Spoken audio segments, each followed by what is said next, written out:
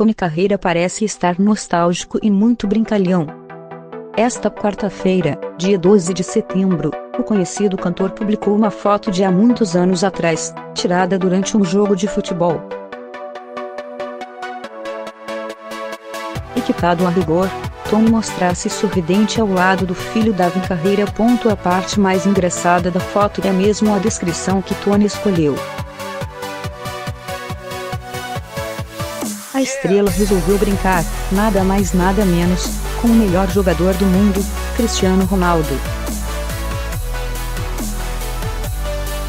Hoje, ao arrumar umas fotografias, reparei nesta que me fez lembrar da sorte que o Cristiano teve por eu não ter seguido com uma carreira no futebol, brincou o cantor.